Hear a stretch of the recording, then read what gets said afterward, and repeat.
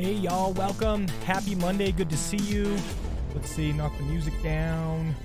Come on, come on. That's it. This song's a jam, though. I'll tell you that much. Okay. Looking good. I think. What is up? Welcome, welcome. Hope you guys are having a fantastic Monday. Looking forward to getting going here. I am teaching a lesson on hermeneutics tomorrow. And so I was thinking we should just jump into that, right? I've got a five views on hermeneutics book that I've read. And we can just kind of jump in, basic hermeneutical ideas, all that good stuff. That's the plan. Just got some ice water going this evening. No tea for me. Have I had any tea today? I don't think I had any tea all day. Man, it's no wonder I'm not firing on all cylinders. Come on. Got to get my tea. But it is what it is. Here we are. And I think to start, I just want to talk about history of hermeneutics, maybe define some terms, and talk about the various approaches to hermeneutics that are taken. And I do want to talk about the hermeneutical spiral. And I think that's an important idea. Basically, if I walk through the book and I go to all my highlights, I'm probably going to get all of the key concepts that need to be discussed. So let's start off with that. The first chapter is on grammatical historical method, defended by Craig Blomberg. And uh, he basically says, look, grammatical historical method is where you start. He says, it's not that the other methods don't have their place, but you got to start with grammatical historical.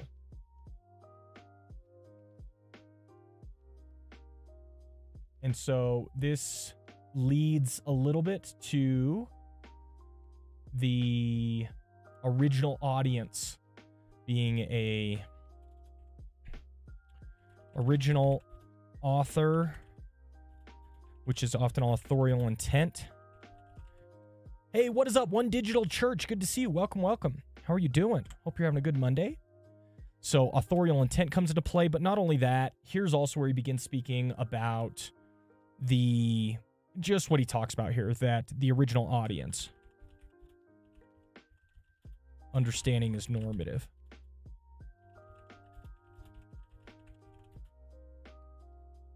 Unless contemporary interpreters consciously remind themselves they're reading documents from different cultures, they're going to mess up. Fuller meaning, sensus plenior. And that's honestly where you get the redemptive historical view coming into play. Fuller meaning. So that's the idea there. Authorial reader's response, intended audience's interpretation. People understand difference between good and bad history, time, place, genre, etc. I after I do after I do each of the approaches, I do want to talk about just general hermeneutical concepts and ideas to help people out. And I'm going to get these from mostly a grammatical historical perspective. One of them is genre. I need to talk about it. What's up, Ping? Good to see you. Welcome, welcome. Let's continue. Tradition criticism. The text speaks for itself, its own origin, all this type of stuff.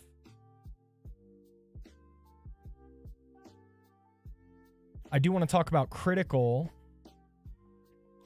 and that this has often led to unbelieving concerns or interpretations. So you can see when he's talking about form, source, redaction, criticism,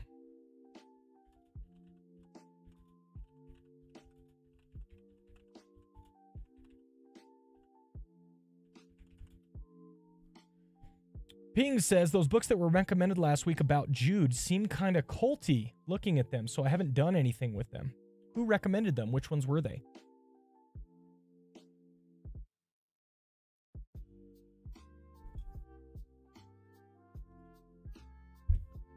Alrighty. Historical criticism, rubric of inerrancy.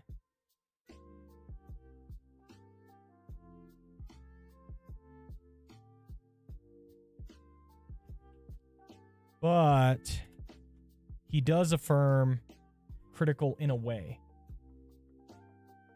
So that's going to be important to talk about. What's up, One Shot? Been a minute. How are you? One Shot just went into two different streams and got banned in both. I just asked a question. Well, obviously, you asked an incendiary question. Who would just ban you for asking a simple question unless you were intending to start fires with it? That's exactly it. Ping says, I don't know, someone in chat, it was something about Heavenly Being or whatever, both by the same person, reversing Hermon and another by the same guy. Oh, uh, no, that's, uh, that's Mike Heiser, Ping. Mike Heiser. He used to work for Logos. Yeah, I'm a big Mike Heiser fan, just so you know.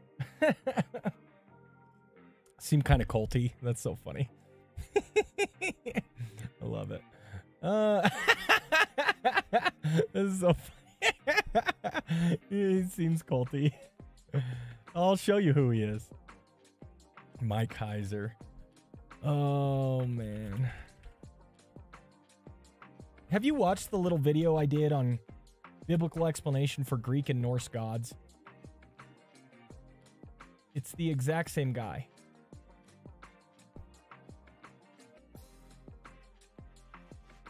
Look, now, now you're about to know who Mike Heiser is.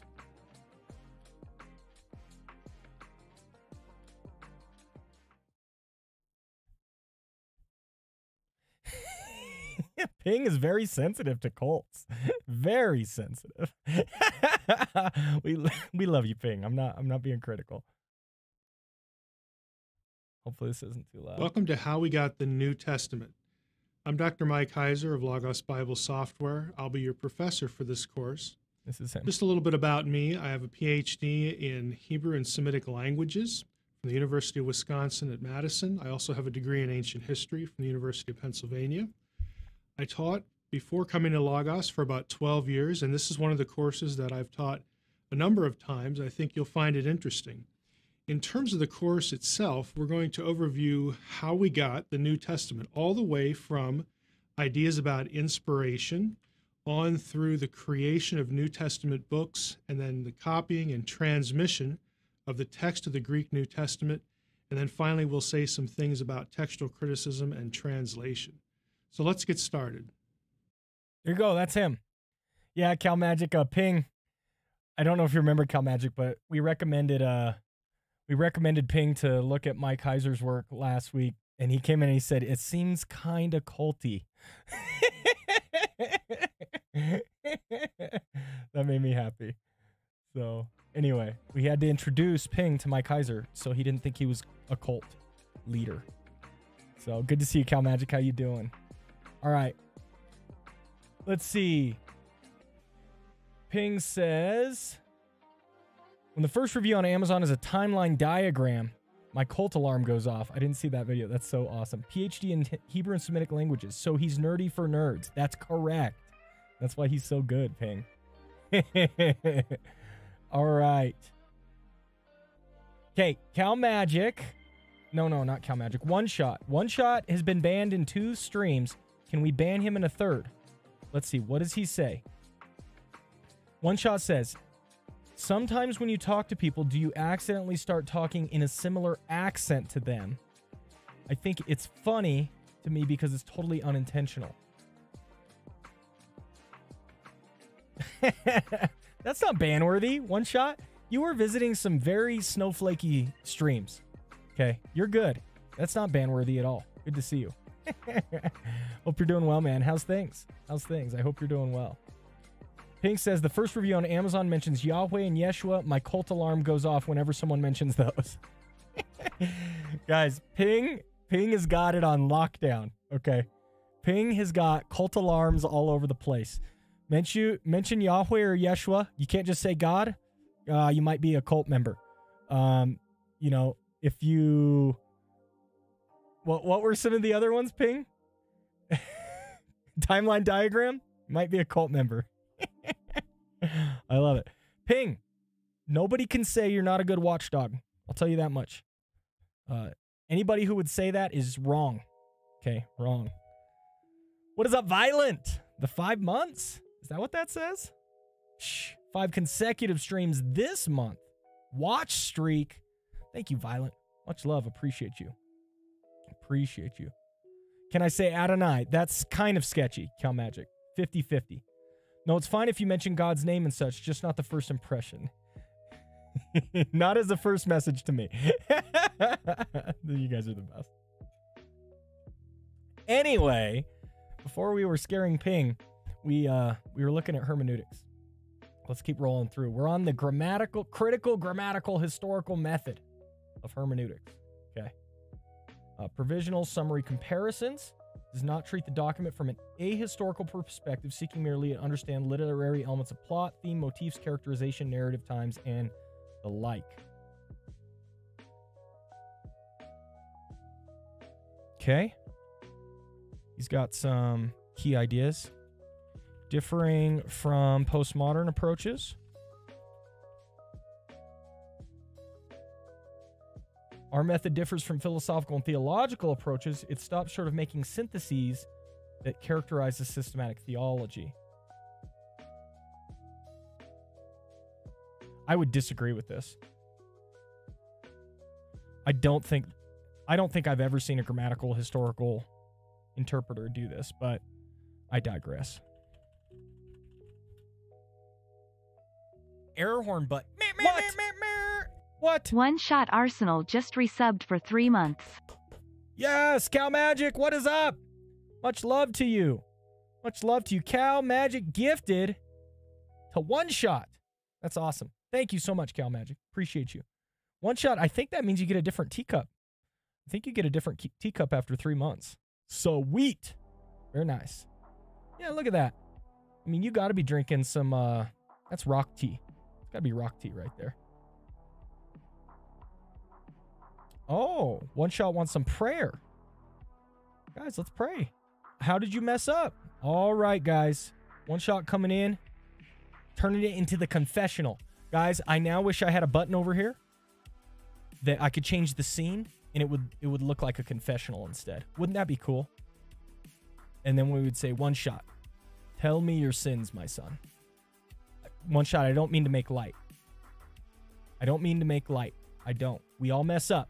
And I'm glad you're willing to admit it. Now, if it is messes it up, you don't have to say it. All right? All right? Well, you share as much as you'd like, but we would love to pray for you. Ping says, still a little sus of WEB because it uses God's names instead of Lord and such. Just tons of cults worry more about God's name than salvation. I feel you, Ping. I feel you, Ping. All right, guys, let's pause the music. Confessional time is not a time for quasars by Harris Heller. What do you got? What do you got for us? Here, we'll go to this one. Boom. All right. What do you got for us? One shot. Tell us. Tell us. We will pray for you. We will pray for you. Anybody else, prayer requests, get them in the chat. Get those prayer requests in the chat, we will pray. Master Amaris, oh man, see some macro hermeneutics on screen. Love to see it. What's up, Amaris? Good to see you. Much love, much love. Oh, one shot. Been drug free for over eight years. In the last two years, messed up. Did meth again yesterday. I feel like I'm going to die. Oof. One shot. I am sorry to hear that. That is not great. That is not great. Okay. Ping has got a prayer request for dad's friend recovering from a treatment. Look, one shot. Here's what I would say. There's a there's a passage that always encourages me on this, and it's in Scared I disappointed my family. I understand one shot. There's a passage that I really appreciate on this, and it's in Ezekiel. Okay. We'll go look at this Ezekiel passage together, then we'll pray. All right. Very encouraged by this Ezekiel passage. So let's check this out.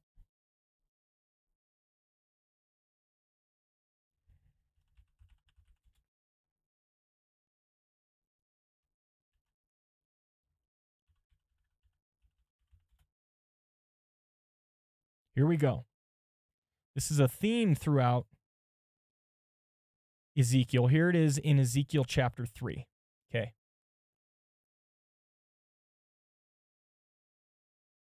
Listen to what it says. If I say to the wicked, You shall surely die, and you give him no warning, nor speak to warn the wicked from his wicked way in order to save his life, that wicked person shall die for his iniquity, but his blood I will require at your hand. But if you warn the wicked, and he does not turn from his wickedness or from his wicked way, he shall die for his iniquity, but you will have delivered your soul. If a righteous person turns from his righteousness and commits injustice, and I lay a stumbling block before him, he shall die. Because you have not warned him, he shall die for his sin, and his righteous deeds that he has done shall not be remembered. But his blood I will require at your hand. But if you warn the righteous person not to sin, and he does not sin, he shall surely live because he took a warning, and you will have delivered your soul. Okay? Um, it's a little further. This is about him being a watchman. But there's also, here it is. Yes, Ezekiel 33. Excuse me. Here we are. Listen to this. This is very encouraging, one shot. You got to listen. Though I say to the righteous that he shall surely live, yet if he trusts in his righteousness and does injustice, none of his righteous deeds shall be remembered. But it, in his injustice that he has done, he shall die. Again, though I say to the wicked, you shall surely die. Yet if he turns from his sin and does, does what is just and right, listen, this is you, one shot. I say to the wicked, you shall surely die. That's how you feel. You feel the guilt of the Lord upon you, right? And you feel, I will surely die, right? Yet if he turns from his sin and does what is just and right, if the wicked restores the pledge, gives back what he has taken by robbery, walks in the statutes of life, not doing injustice, he shall surely live, he shall not die. None of the sins that he has committed shall be remembered against him. He has done what is just and right, he shall surely live.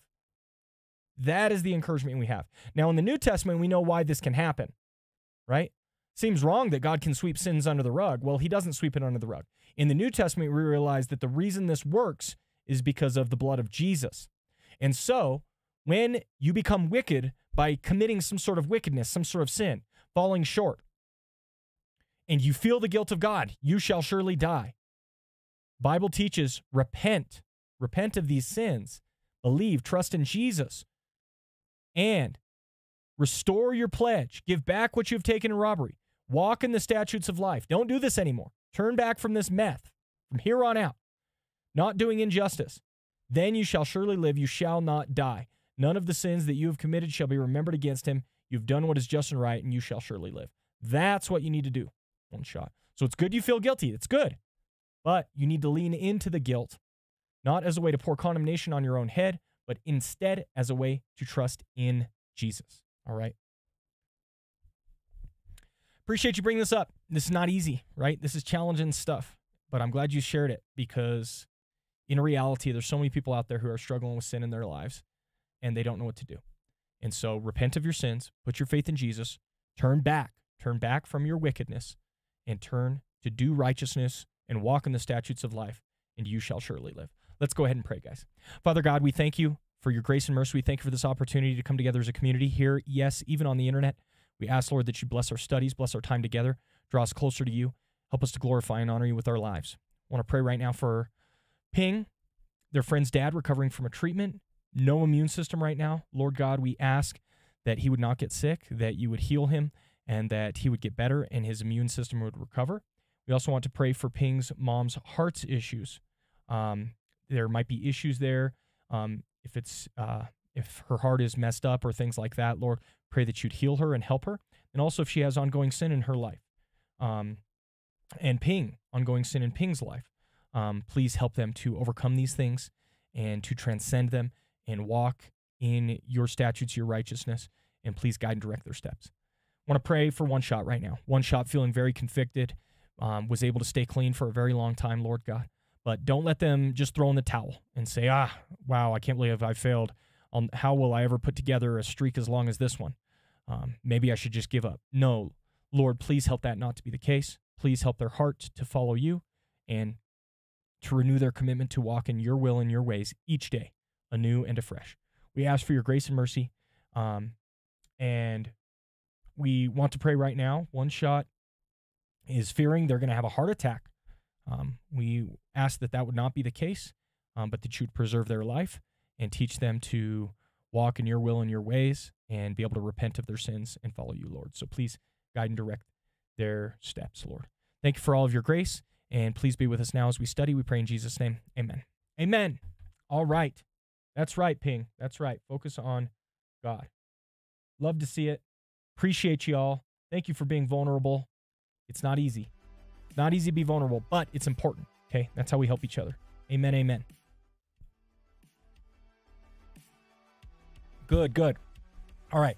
Let's get back into some macro hermeneutics. As Amaris put it, we're just walking through grammatical historical method and not- noting some key ideas. Okay.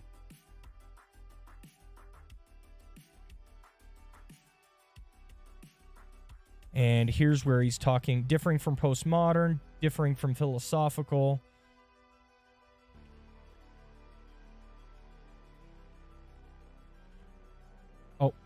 From this one is redemptive historical.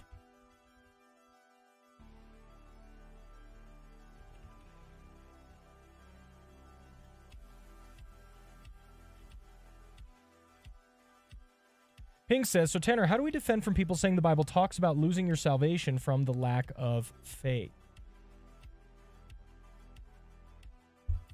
Do you have a specific verse? Are are you referring to like the Hebrews, the verses in in the book of Hebrews?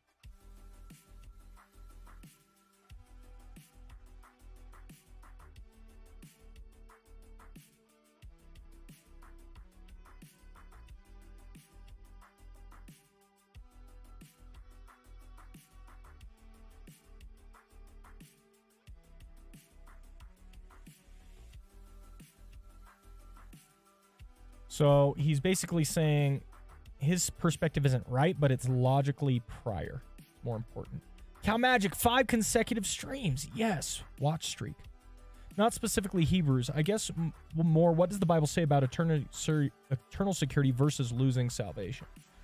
Well, you know, I'm I'm convinced that um, it's more on the eternal security side. Oh, what's up, Derek? Derek Ballard. Wow, been a while since I have been on a PT live stream. Well, good to see you. Welcome. Thanks for swinging by. Derek says, one shot, thanks for sharing your concerns. Takes a step of courage to confess sins. This is a good first step. I agree with everything PT said. I would also add that I would seek accountability. Yes, that would be very helpful. Be very helpful. Thank you, Derek. Appreciate you. How are you doing? I hope you're doing well. So, Ping, I'm I fall on the side of I, I believe that the Bible teaches, you know, eternal security once you are part of God's family, part of his people. He secures you and keeps you until the end. But I don't think that is without our participation, if that makes sense. Sanctification is a work with God and man, right? We often talk about salvation, soteriology, as a work that God does in our lives. Absolutely true. But sanctification, I think, is something that is that we participate in. And so we have to agree and participate in our sanctification. Now, my feeling is that a true Christian, because the Holy Spirit is doing work in their hearts and lives, a true Christian is going to feel guilty about their sins and gonna hate it, hate their sins, right? So if you have an unbeliever, they're perfectly content to sin, no problems, they feel fine and comfortable with it, maybe justify it, etc.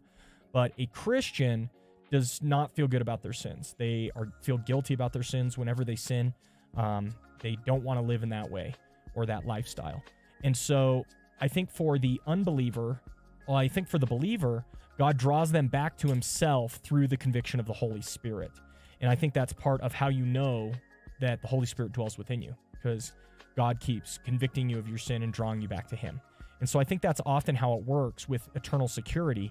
It's not that, oh, I'm just saved and there's no problems. It's that if a true Christian falls into sin, God will not let them persist in that sinful state. There is a passage in Romans, I believe it is. And right here. Oh, no, I am getting it from uh Hebrews. It is Hebrews. It's not Romans. My son, do not regard lightly the discipline of the Lord, nor be weary when reproved by him. The Lord disciplines the one he loves and chastises every son whom he receives. I think if you're truly a child of God, you are going to receive discipline and chastisement from God. And that is going to result in you turning away from your sins and continuing to follow God. So, this is a very important passage for me when it comes to eternal security.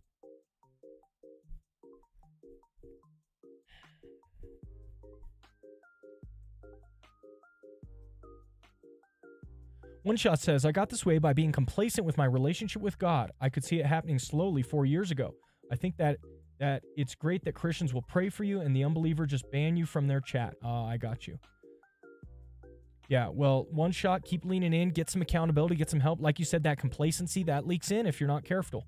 Careful, and um, having other brothers and sisters to walk alongside you and support you and help you is really helpful. Ping says, I was told recently the Bible has no support for not being able to lose our salvation. Oh, I, I disagree with that. Um, I always go to John 6, but I don't know if John 6 explicitly talks about eternal security. We'll go there in a second. Cal Magic says, I think Ping's question needs to be demonstrated by true following Christ, not simply with the sinner's prayer, arise, O God, modified my view. Yes, exactly, exactly right, Cal Magic. It's more, it's more of a um, salvation is more than just a sinner's prayer. Yes. And I think you have to. Oh, I got you, Ping. I know someone who would say that verse doesn't cover lack of faith causing someone to lose their salvation. I see. I kind of know where to look. Figured it was easier to ask. Well, let me go to John 6. I don't think. But I don't think it talks explicitly about eternal security. Maybe though.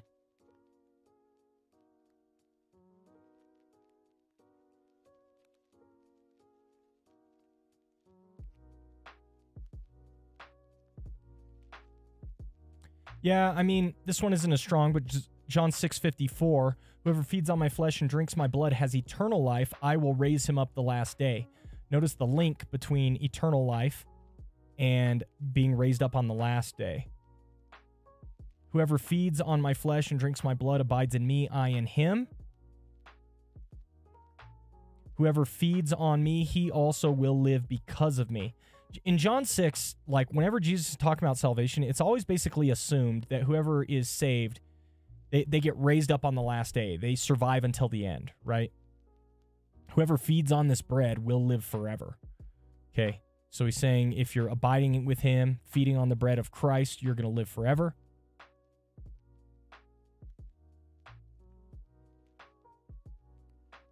But there are some of you who do not believe, for Jesus knew from the beginning those who were not who did not believe and who it was who would betray him. He said, "This is why I told you no one can come to me unless it is granted to him by the Father."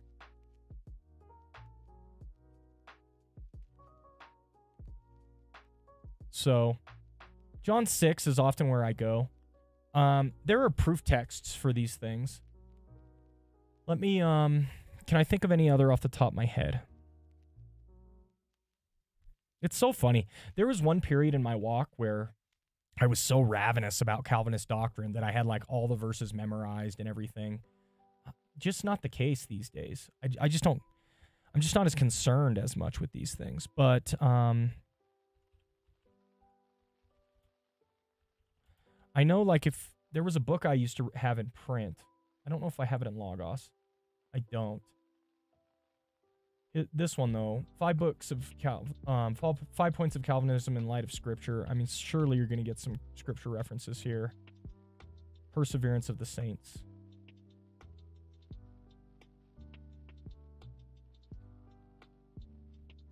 None of these are super compelling to me. Philippians 3, John 17. Again, this phrase eternal life, eternal life, that is somewhat of an encouragement. John 6:39. Yeah, that that's a pretty big verse right there. John 6:39. This is the will of him who sent me that I should lose nothing of all that he has given me but raise it up on the last day. This tying together with the raising up of the last day and losing nothing, that that's a pretty that's a pretty powerful phrase, I think. Let's see, John 10. Again, eternal life, never perish. No one can pluck them out of my hand.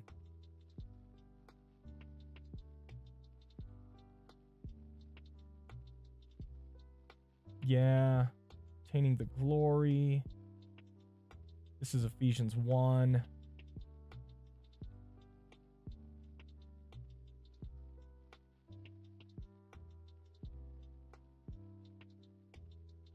Yeah, so there you go. Handful of verses here. You know who's really good on this is uh, Robert Reymond. What's up, Praxis? Good to see you. I like Robert Reymond's systematic theology. I don't know why you're clapping. I'm talking about Oh, you. Oh, come on. Get some Paul Washers. Thank you for that follow. Appreciate it. Appreciate it. Let's see. I know the Bible talks about falling away, but that seems like more the people who weren't believers to begin with. I think so, Ping. And what's always been helpful for me on this subject is trying to have an understanding or a recognition of false belief, false conversion, right? So if you go to Matthew 7, Matthew 7 really frames up all my understanding of like these discussions surrounding whether or not you can lose your salvation, right? So Matthew 7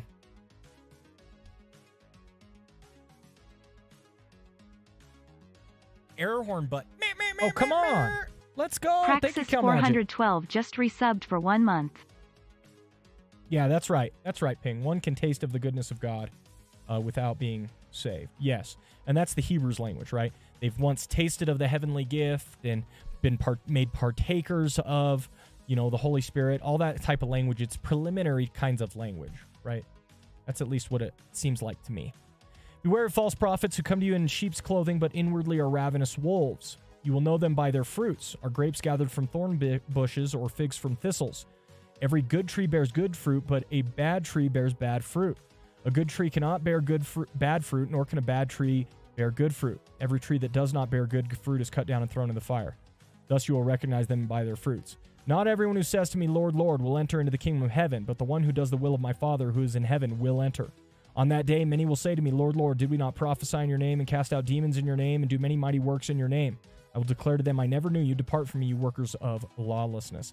This to me is a description of false conversion.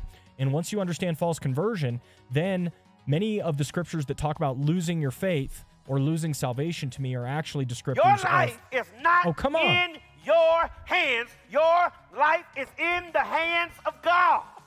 Let's go. Masterwood just resubbed for two months. Thank you. Appreciate that, Master. Appreciate that. Thank you for the prime sub. Yes, much love to you. Much love. So, once you understand false conversion is a thing, then to me, the idea that the Bible talks about people who can fall This away This is the isn't biggest bothersome. room of What? freaked out guys are getting after it. snowflakes you've ever seen in your life. Violent Midget 300 cheered. X 100. Yes. Perfect. Thank you. Thank you. Much love. All right. Let me catch up over here. Let's see. Praxis. I haven't come across a verse where it says one can lose their salvation. I know it mentions that we will receive rewards based upon the works of the Spirit. Yes. 1 Corinthians 1. Pastor, what's good? Not much. Hope you're doing well, Praxis. Good to see you. Thank you for swinging by. All right. Who else do we have? Human beings aren't bearing the fruit. God does, and we get to participate, right? Yes, that's when Jesus says um, that we must be united to Him. Good.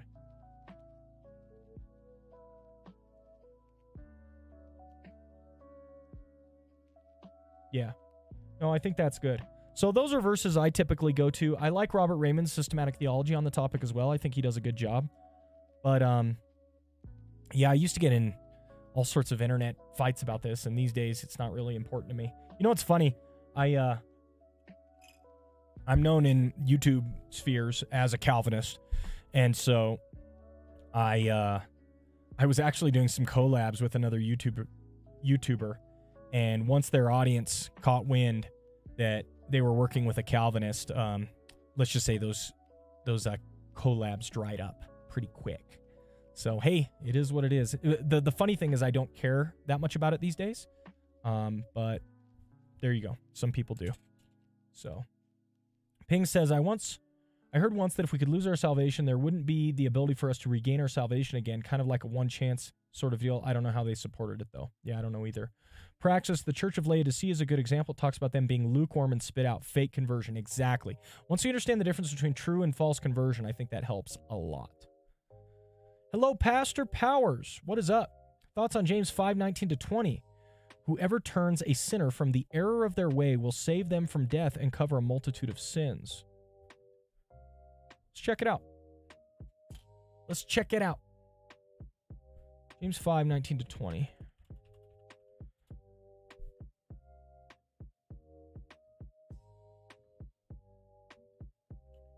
And I'm I'm guessing Powers, you're bringing this up in light of our eternal security discussion.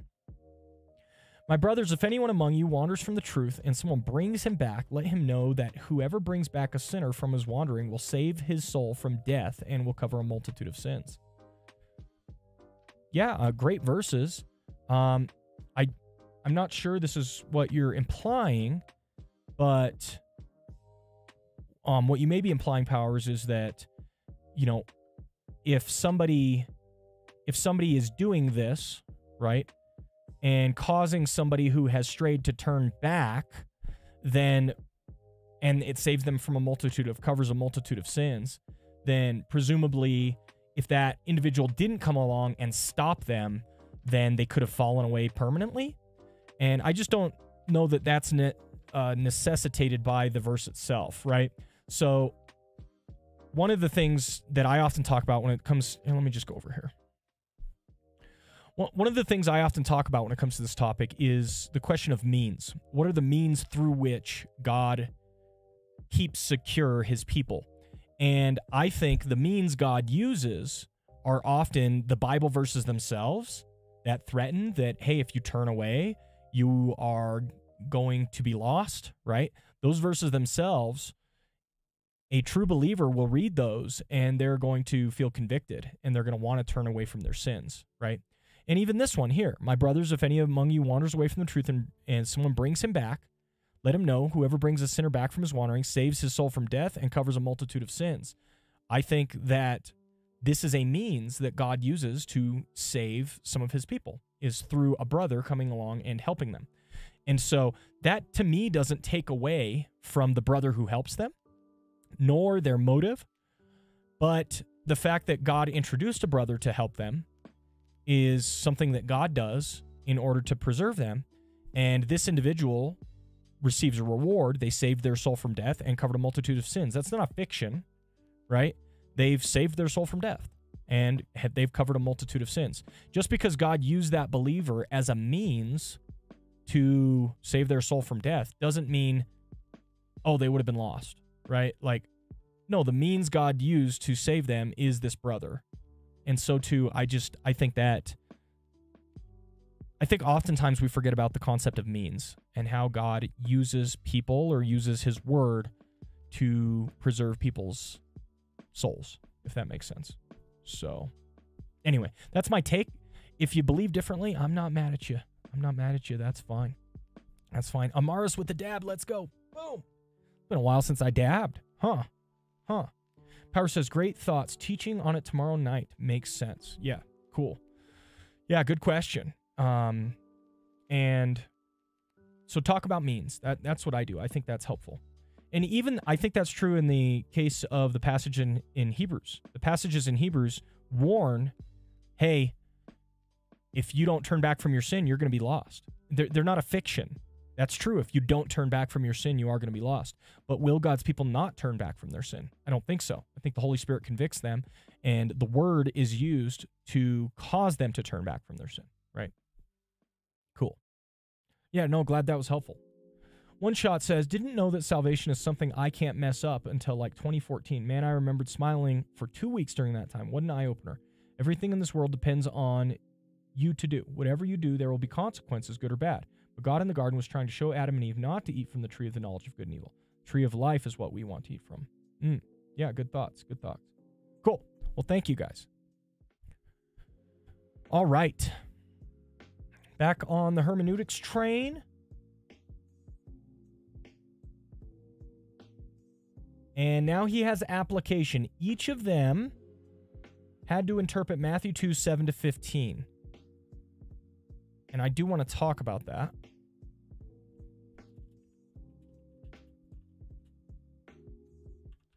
Matthew 2 7 to 15 and their exegesis.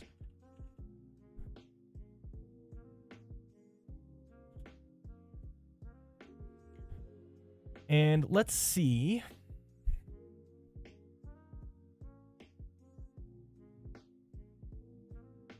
So, we are not going to have anything like a comprehensive application of our method, but here's some ideas.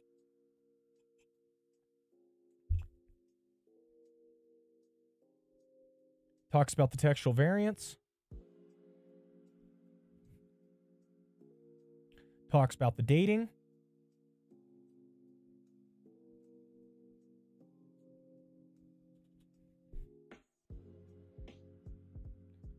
So I don't know if I should put this here or down here. Let's put this down here as some ideas. Textual variants.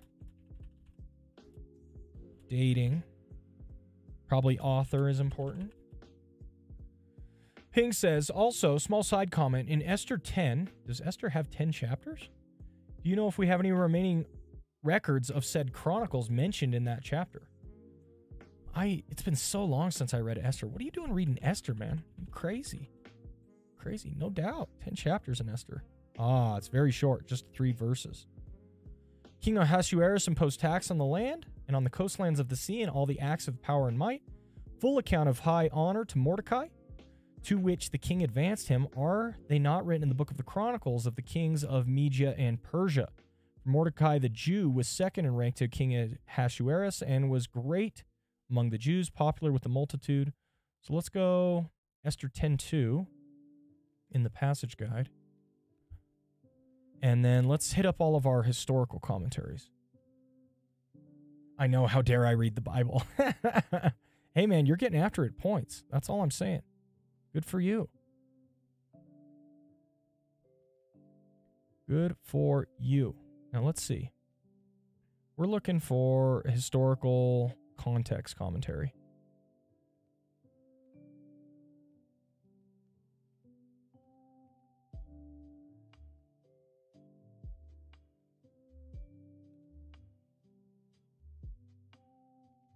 Right here, something like this.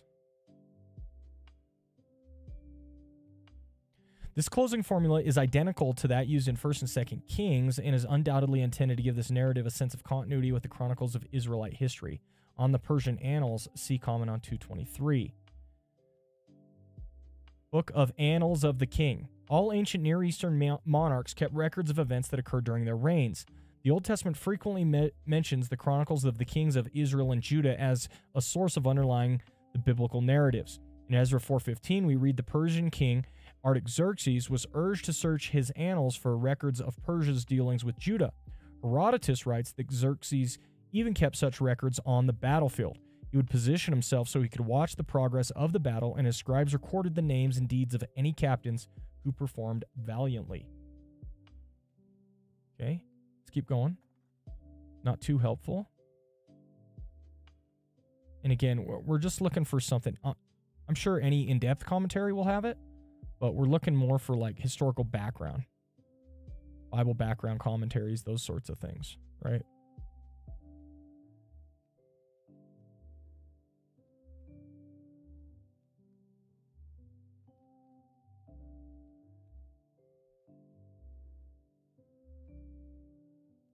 Ooh, handbook.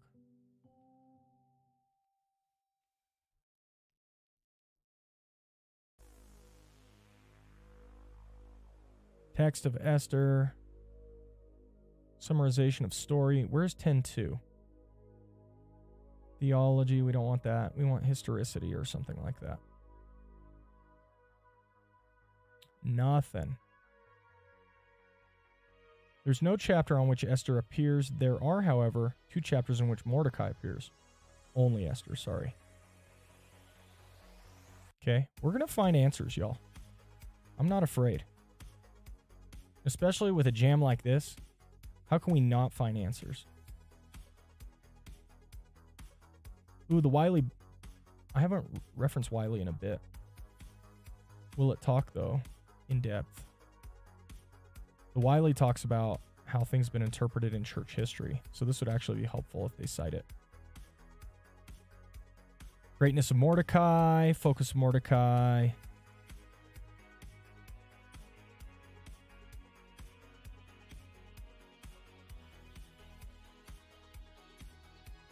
Nope.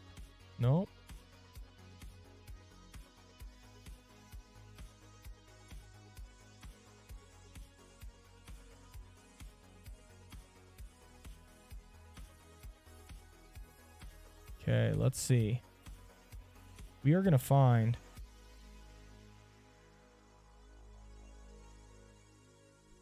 some historical background here.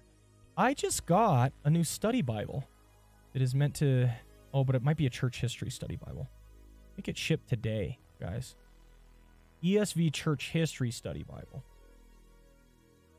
Ahasuerus' power was the fading glory of this world. He is gone, his records have perished. Mordecai had the interests of Jehovah at heart, despite the peculiar circumstances in which he was placed. Faithfulness will be remembered forever.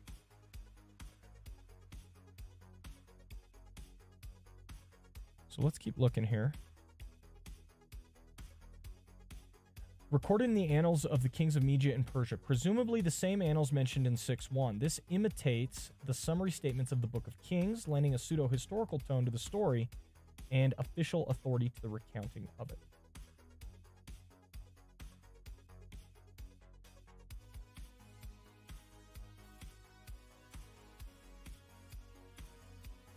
Shepherd's notes on Esther. No, I want. Again, I want something with a little more historical background. This looks more devotional.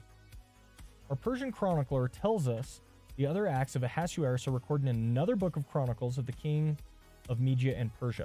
It is possible he was gently letting the reader know we're not going to have to spend time on this here. Whoever it was who wrote this book, we have seen that he cuts right to the chase leaving out years here and months there. He only records what he considers necessary. Apparently, Ahasuerus did not do much that made the cut in the eyes of the chronicler. Maybe because there was nothing truly noteworthy. While it is true that the entire first chapter of Esther is devoted to Ahasuerus, do not overlook the content of the chapter, Ahasuerus' party. The historian might have known his audience was being given a fairly revealing picture of Ahasuerus from the beginning. So, no nothing we have referenced has mentioned the historicity of this document. It doesn't mean it's historical, it just seems to mean we don't have it, right?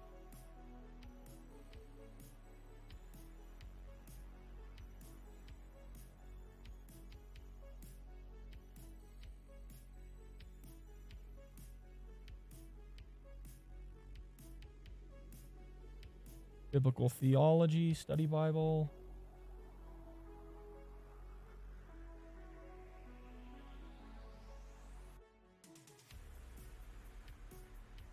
Eerdmans Companion. No, we're not getting much here.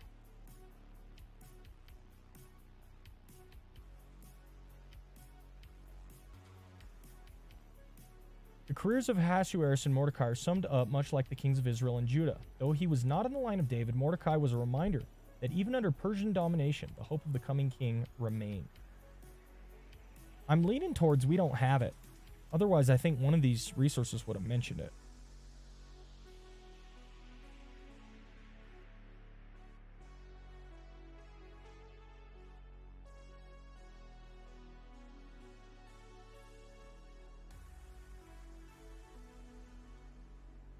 Let's see.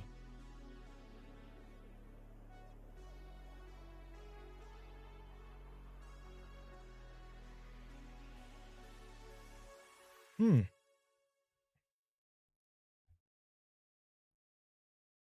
Not much here.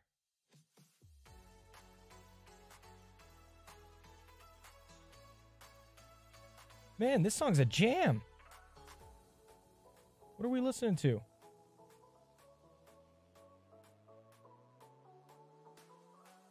Harris Heller. Okay. I like the start of it. Masterwood says that's a lot of commentaries. I am jealous. Well, doesn't mean I'm a good steward of them. 10 Minute Bible Hour podcast has been doing Esther. Got you.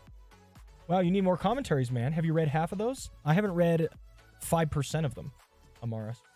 Commentaries are reference works. Everybody knows it. What's up, Jack Burr? How are you? God bless you. I hope you're doing well. Good to see you. Welcome, welcome.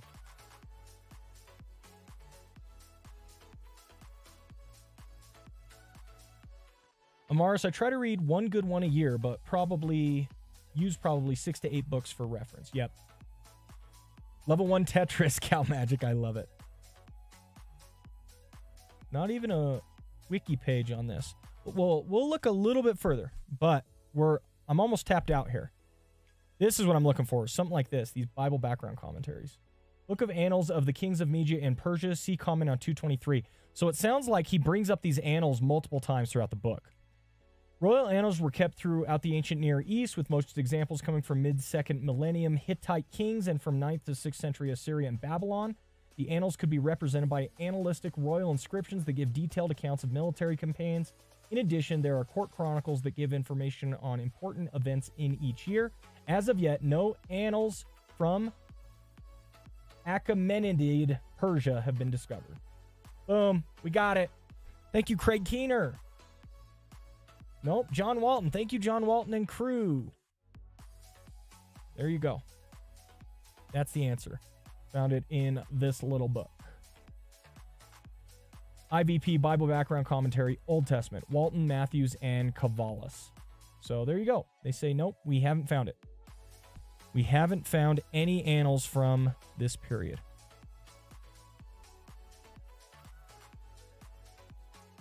Nice. Weird we don't have any chronicles of them at all, though. Yeah, not wrong. Not wrong. But we found the answer. There we go. All right. Let's continue. And we were summarizing some of the major themes.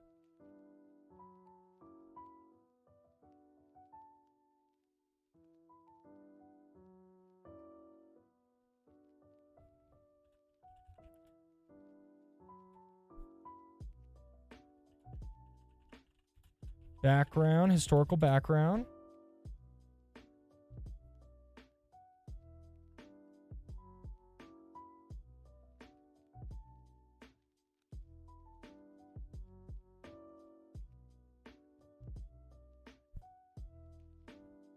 Grammar.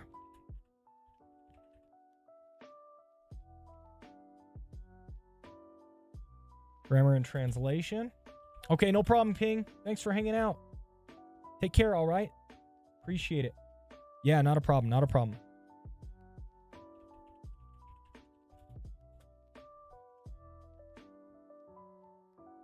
Proskuneo.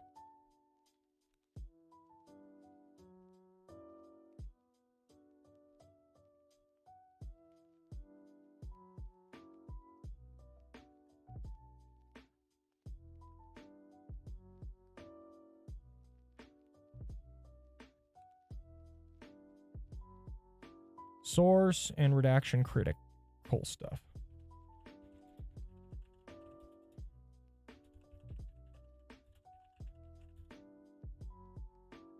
And these are, these are part of his grammatical historical approach.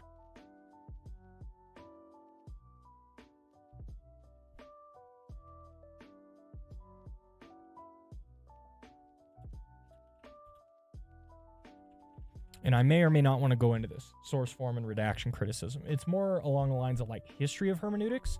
I don't know that it's as relevant for like, you know, doing hermeneutics itself, if that makes sense.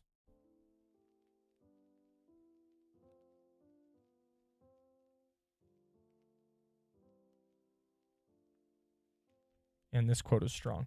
The historical, grammatical, critical approach is by no means the only legitimate approach to biblical text. However, it is the necessary foundation on which all other approaches must be built.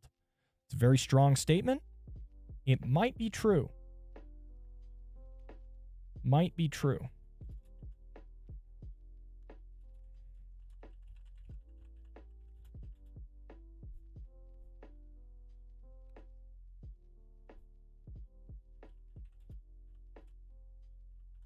Interpretation of Matthew 2 7 to 15.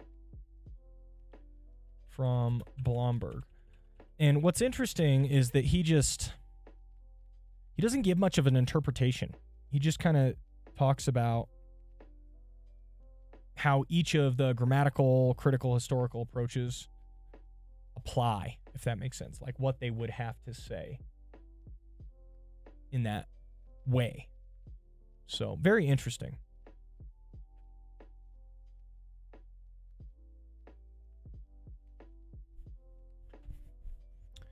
So you can see clearly we have a secure text.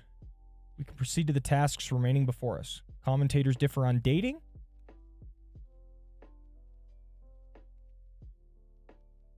Various questions of his historical background typically surround a discussion of the Magi's visit.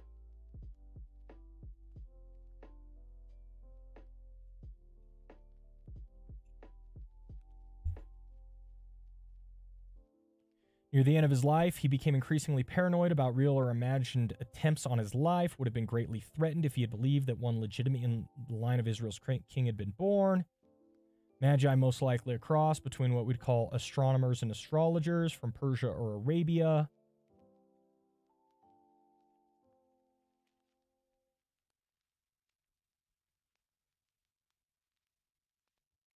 So he spends extensive time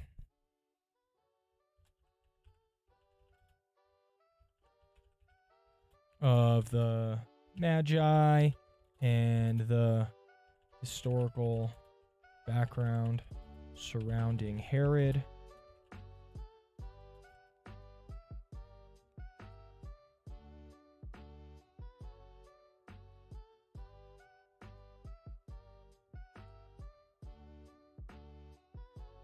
Little treatment of Micah 5 2.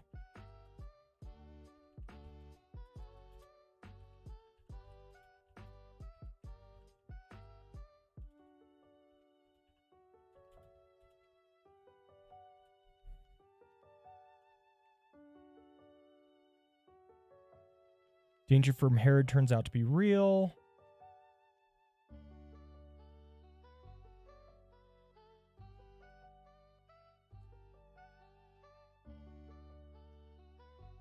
Because they had to escape to Egypt, they would later have to return from Egypt.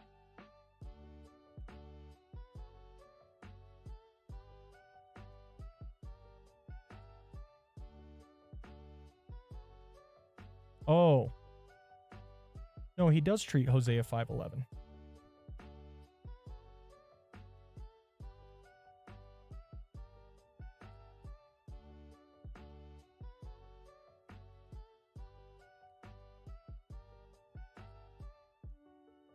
So how does he treat it?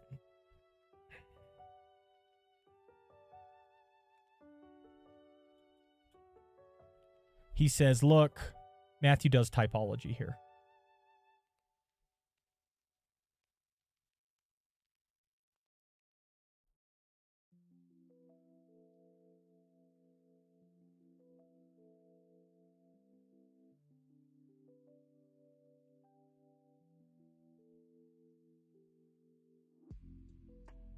So then I could get into redaction criticism, source criticism, all that type of stuff if I wanted to.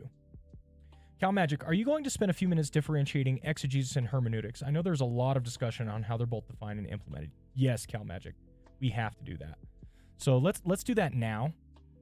I think that's a really good idea. And so let's go ahead and grab the fact book.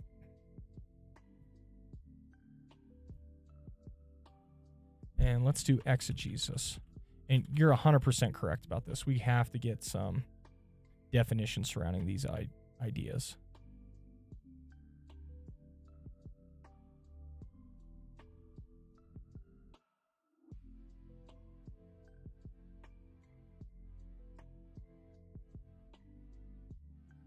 Exegesis, an interpretive method that establishes the meaning of a biblical text or passage by studying its historical context and making application of that study to the contemporary situation and environment.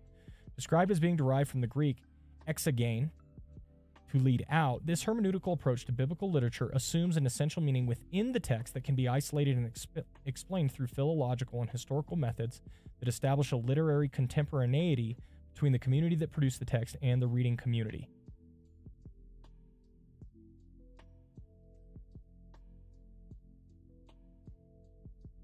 And that's a good point, Cal Magic, is how would they define hermeneutics then? Praxis says, I would say hermeneutics gives the tools and exegesis takes these to start the process of interpretation.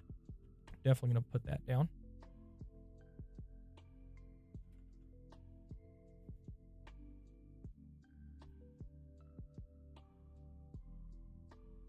Funny because even in the biblical hermeneutics five views books, he talks a little bit about definitions up front and exegesis itself.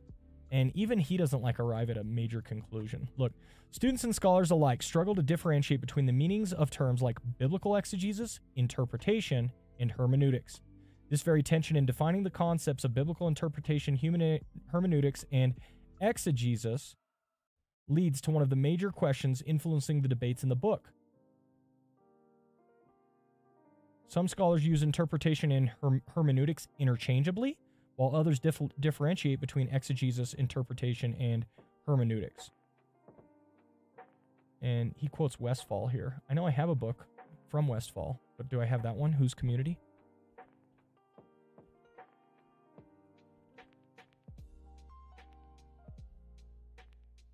I do not. Oh, I do. This one right here. So he says in this book that these definitions are broken down. Whose community, which interpretation, especially Hermeneutics 101, pages 17 to 26. Interpretation or intuition.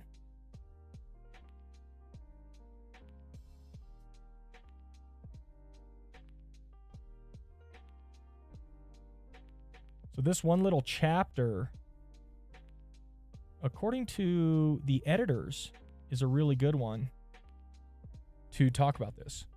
We should probably read this chapter.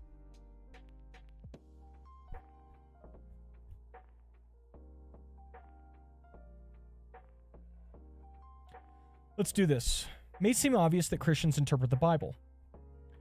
It is not, so exegesis and interpretation. Masterwood, that was a duck. No, that was a rabbit. Masterwood.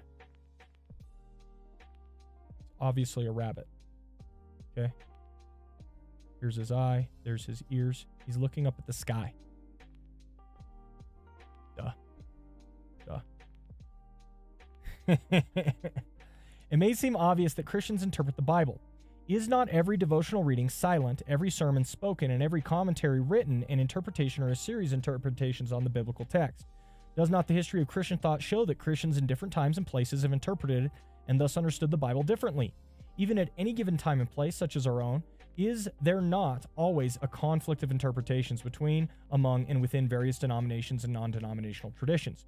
So it seems obvious that Christians would be interested in hermeneutics, theory of interpretation that is sometimes normative, how we ought to go about interpreting, and sometimes descriptive, what actually happens whenever we interpret. But often enough, the, her- the hermeneutical theory, if we may call it that, of lay believers, pastors, and academic theologians consists simply in denying that interpretation is necessary and unavoidable. We encounter this general attitude when we offer a viewpoint about, say, some controversial moral or political question to someone who, one, doesn't like it, and two, doesn't know how to refute it, perhaps deep down knowing that it is all too much on target, and so replies, That's just your opinion. Similarly, an unwelcome interpretation of some biblical text may be greeted by the response, Well, that might be your interpretation, but my Bible clearly says dot dot dot. In other words, you interpret, I just see what is plainly there. I am reminded of an ad for a new translation of the Bible billed as so accurate and so clear the publishers could announce no interpretation needed. The ad promotes the revolutionary translation, which allows you to immediately understand exactly what the original writers meant. But of course, this immediacy is mediated by this particular translation, one among many, each of which interprets the original text a bit differently from the others. I already like Merrill Westphal. James K. Smith, A Fall of Interpretation Philosophical Foundations for Creational Hermeneutic. Jamie Smith, the editor of the present series, first called this ad to my attention years ago at a conference on biblical hermeneutics. I have often had an occasion to recall it. That's pretty cool. I like James K. A. Smith. Fall of interpretation.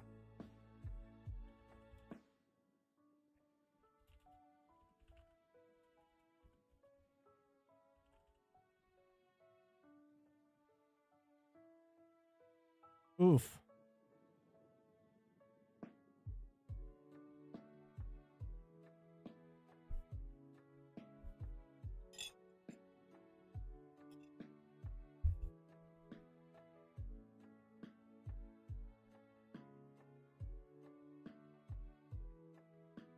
Okay. Let me let me throw this up here real quick. Story to start. The ad promotes the revolutionary transit. Well, oh, we already read that. This no interpretation needed doctrine, that interpretation is accidental and unfortunate, that it can and should be avoided whenever possible. Often unnoticed is that this theory is itself an interpretation of interpretation, and that it belongs to a long-standing philosophical tradition that stretches from certain strands in Plato's thought well into the 20th century. This tradition is called naive realism in one of its forms. It is called naive both descriptively because it is easily taken by a common sense perspective without philosophical reflection, and normatively because it's taken to be indefensible on careful philosophical reflection. Before looking into why this interpretation of interpretation might deserve to be called naive in the second sense, let us first try to be clear about what it asserts and why. Realism begins as the claim that the world, the real, is out there and is what is independent of whether or not we might think about it. By the way, I have a realist metaphysic myself. So I don't know if I'd call it a naive realism, but um, most most uh, Christians are metaphysically agnostic. Like they they uh, they don't have a self consciously developed metaphysic, um, and I think that's not great. And anyway, I'm a metaphysical realist. Cal Magic says every person reading the Bible interprets the Bible based upon their own worldview, biases, and experiences. Yes. Throw that in there, Cal Magic.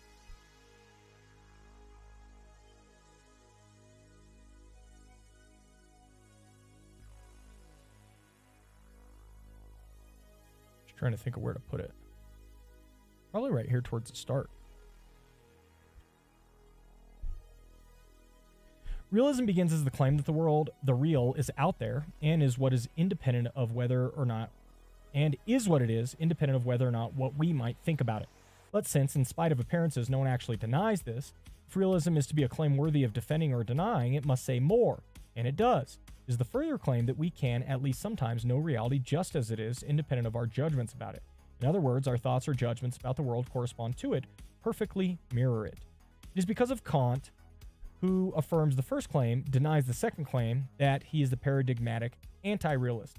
He insists that we don't know the thing in itself, the world as it truly is, but only the world as it appears to human, all too human understanding. We don't apprehend it directly, but only as mediated through forms and categories we bring with us to experience. In other words, the human mind is kind of a receiving apparatus like black and white TV set that conditions the way in which what is out there appears. Thus, the world as we see it is partly the result of the way the real gives itself to us as passive receptive, and partly a result of the way we take it as active and spontaneous. Like the Gestalt psychologist, Kant does not suggest that we are aware of our contributing role, that our taking is conscious and voluntary, much less deliberate. It happens, so to speak, behind our backs. I generally agree with what he's saying here, but I I'm not sure that changes reality itself, right? Yes, reality is mediated through our senses, for example, or our minds. But I feel like God created the world so that we're meant to apprehend it. And so let's pretend even realist metaphysic is wrong. Well, we still have to act as though it's right. You know what I mean? Like the world in which we live and as we perceive and understand it is real or not, we have to act as though it is. I don't see any other option, really. Incidentally, although scholars usually ignore this fact, Kant regularly identifies appearances the way in the world, the thing in itself, the way God sees the world. Things really are the way the divine mind knows them to be. So theists, who have a good reason not to identify our finite creaturely understanding of reality with God's infinite creative knowledge, have a sound theological reason for being Kantian anti realists. Our thoughts are not God's thoughts any more than our ways are God's ways. But again, if you want to functionally say God creates the universe or world in such a way that we're meant to interact with it and apprehend it, then I think that leans in the other direction, right? Of being more realistic in your approach. The only other option would be insanity, right, Masterwood? It would seem it would seem that that were the case. Naive realists, including the no interpretation needed school, who may never have heard of Kant or anti realism, deny, at least implicitly, the inevitability of such mediation. They affirm a direct seeing that simply mirrors what is there, without in any way affecting what it is seen as it is seen. Plato expresses this view in connection with the philosopher's apprehension of the forms, the purely intelligible structures that are the highest, indeed the only objects of genuine knowledge when he speaks of contemplating things by themselves with the soul by itself. In speaking of this direct, unmediated rendezvous of subject and object, or of whatever sort, philosophers view the object as immediately given or immediately present. The claim to immediacy is the claim that the object is given to the subject without any mediating, contaminating, or distorting input from the subject, be it on the lens through which the object is seen, the perspective from which the object is seen, or the presupposition in terms of which the object is seen, all of which might vary from one observer to another, or from one community of observers to another. Yeah, I agree with all that, but I still don't think that affects realism. The problem is in me, not in the object itself. Common sense doesn't talk about immediacy, presence, or givenness, but it does claim to just see its objects, free of bias, prejudice, and presuppositions, at least sometimes. We call this just seeing intuition. Oh, so what he's saying is he's trying to build the case that most people are not consciously aware of their biases, and so therefore they have a naive realism. They believe they're perceiving the object as it actually is without any interpretive lens through which they're viewing it. But I don't think you have to deny realism to realize, oh, no, I have an interpretive lens myself. So I don't disagree necessarily with what he has said, but I was already thinking past it, I believe. When the naive realist view of knowledge and understanding is applied to reading texts, such as the Bible, it becomes the claim that we can just see what the text means, that intuition can and should be all we need. In other words, no interpretation needed. The object, in this case, the meaning of the text, presents itself clearly and directly to my reading. To interpret would be to interject some subjective bias or prejudice or prejudgment into the process. Thus, the response, well, that might be your interpretation, but my Bible clearly says. In other words, you interpret and thereby misunderstand, but I intuit, seeing directly, clearly, and without distortion. I didn't. I don't know that he had to give like a a philosophical treatise on uh, why this is the case. I, he may be right, but anyway, he's a philosopher, right? So renowned philosopher Merold Westphal. Why seek to avoid interpretation? Let us turn to the question of motivation. Why would anyone want to hold the hermeneutical version of naive realism? Let us dismiss, but not too quickly, the suspicion that this view is attractive because it makes it so easy. I am, we are right, and all who disagree are wrong, not merely wrong, but wrong because of bias or prejudice. There are more respectable reasons, two of which immediately come to the fore the desire to preserve truth as correspondence and the desire to preserve objectivity, a closely related notion in our reading, preaching, and commentating. So far as truth is concerned, the hermeneutical question is not whether what the text says corresponds to or perfectly mirrors the real. It is rather what the reader, preacher, or commentator says corresponds to what the text says. This is especially important if we take the Bible to be the Word of God, that as such, again and again, becomes the Word of God for us as we read it for ourselves or pay attention to its exposition by the preacher or commentator. But if, according to the Kantian interpretation of interpretation, what we find in the text is a mixture of what is there and the human, all too human lens through which we read and by which the text is mediated to us. Is the voice we hear divine or merely human? The hermeneutics of immediacy is not the only way to preserve correspondence between what the text says and what we take it to say, but it is probably the simplest. This is actually really helpful because without even thinking about it, I bet I have people in my congregation who think they're not doing interpretation at all and might push back against the concept of hermeneutics from the start.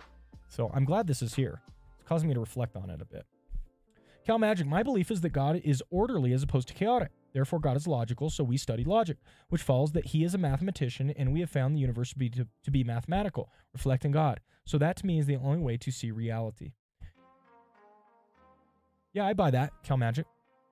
And I think that's how you have to form worldviews. You have to take them as like big lenses or chunks and then view the world through them and see if it works, right?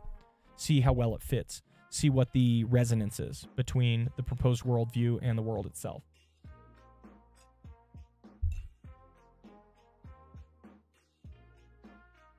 But that's a different epistemological framework than most Christians use. Closely related to the notion of truth as correspondence is the notion of objectivity. For the sake of truth as opposed to mere opinion, that's just your opinion, it may seem that the contingent and particular factors that make one knower or knowing community different from others should be filtered out as subjective and distorting. Since Plato, mathematics, which is highly immune to the subjective interpretation, has been a paradigm, if not the paradigm, for truth as objectivity.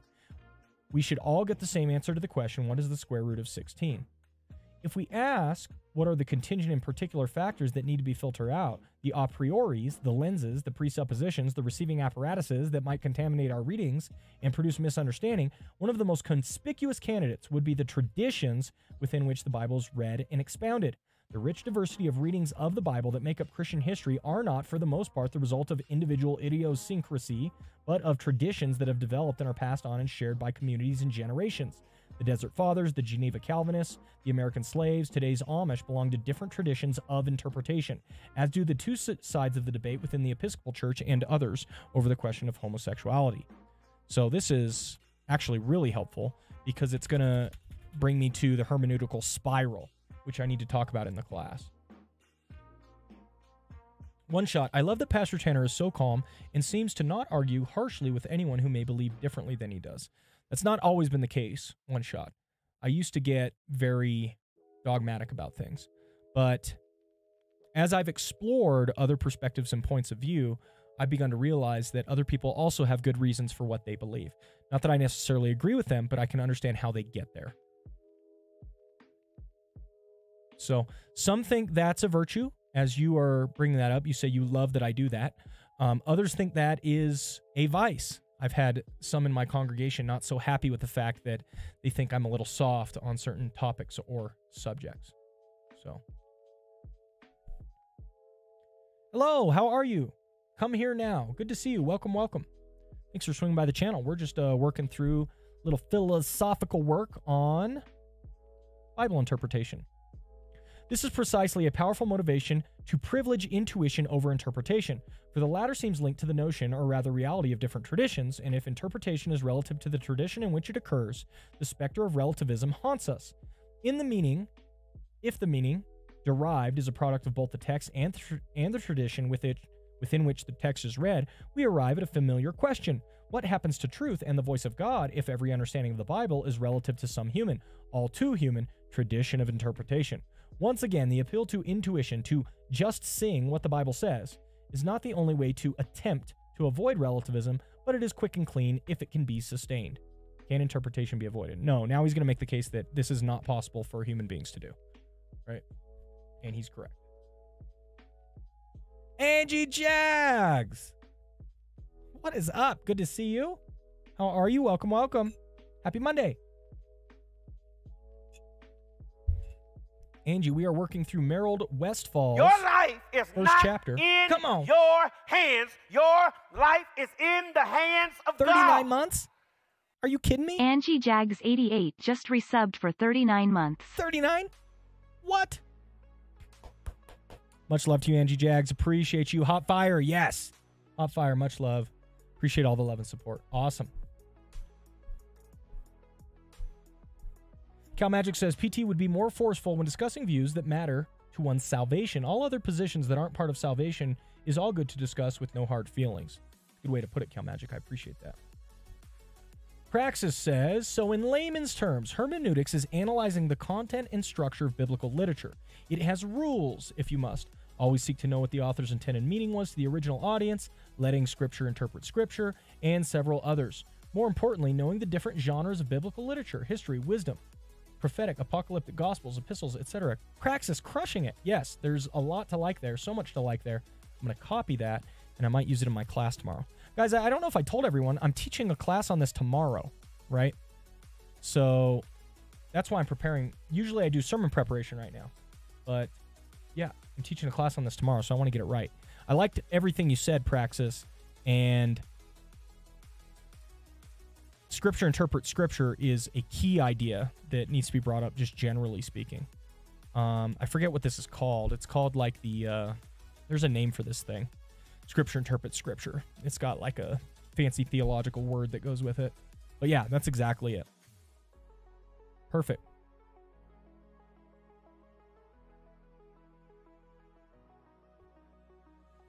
So I'll probably start with definitions first, and then I will go into this stuff. Why is interpretation needed? And then the case is going to be made it's impossible to avoid it. Just like Cal Magic says, every person reads the Bible, interprets the Bible based on blah, blah, blah, blah, blah.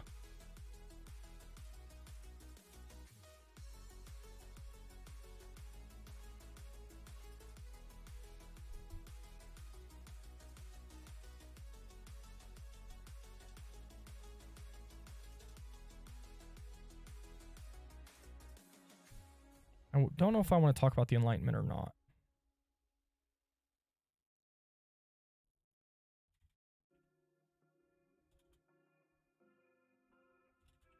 Maybe. That's a maybe.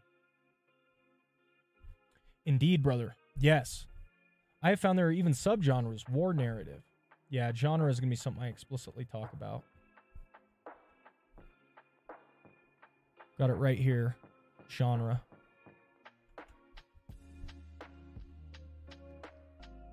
Very helpful. I uh, I have long taught that if you don't interpret the proverbs as proverbs, but instead as promises, you'll be sorely disappointed in your Bible. But can the appeal to intuition be sustained? The case for just seeing is not easy to make, and the naive realism inherent in the no interpretation needed viewpoint may prove to be naive in the second pejorative sense given above. As we have just seen, however briefly, the whole idea that some construals are subjective interpretations while others are objective intuitions is itself a particular and contested tradition within philosophy. It is ironic that proponents of theologies that like to think of themselves as innocent, of uncontaminated by philosophical prejudices or prejudgments or presuppositions, so easily make themselves heirs of this tradition. It looks as if this hermeneutics, this interpretation of interpretation, is itself relative to the presuppositions of a particular philosophical tradition.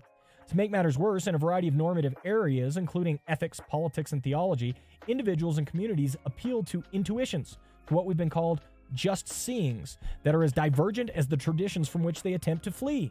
There's a conflict of intuition just as much as there is a conflict of interpretation. This is helpful too.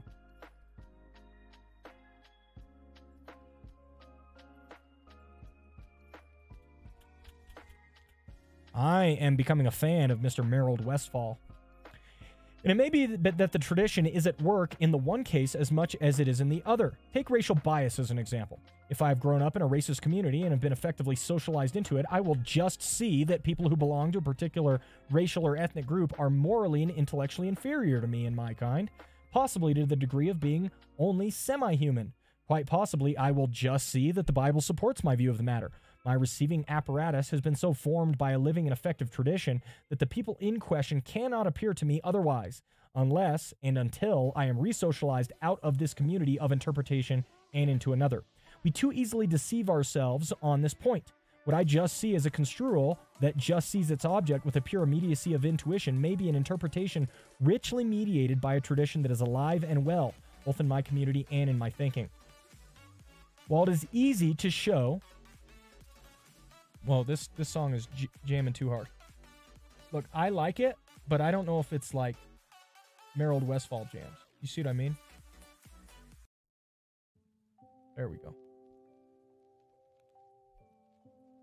The idea of Proverbs being promises as a result of literalism from some other source, I really like that, Cal Magic. I'm going to copy that.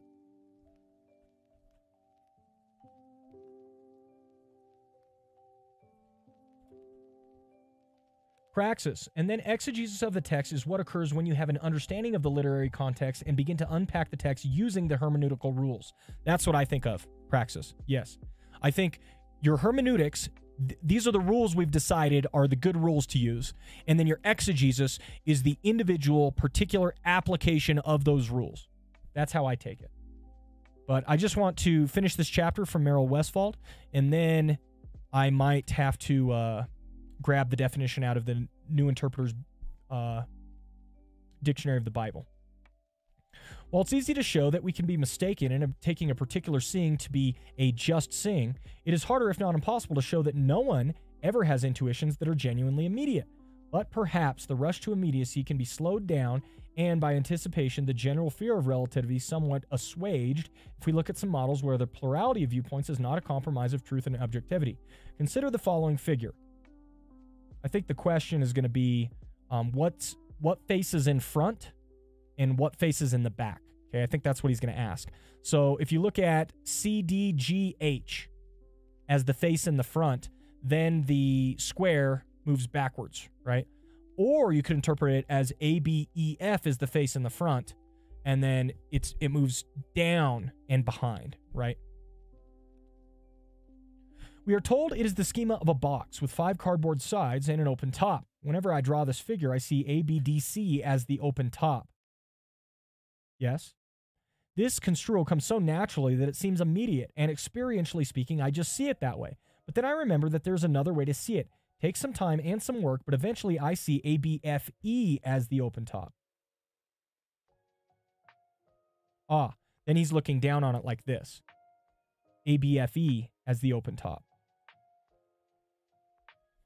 In the first case, I'm slightly to the right of the box and I can see its right hand side from the outside, but not the left hand side. In the second case, I'm slightly to the left of the box and I can see the left hand side from the outside, but not the right hand side. But neither of these things is right in the way that makes the other wrong. Note that even though there are two correct answers to the question, where is the open top, it does not mean that every uh, answer is correct. ACGE, CDHG, EFHG, BDHF could all be seen as open sides, but not as an open top. This is already helpful too.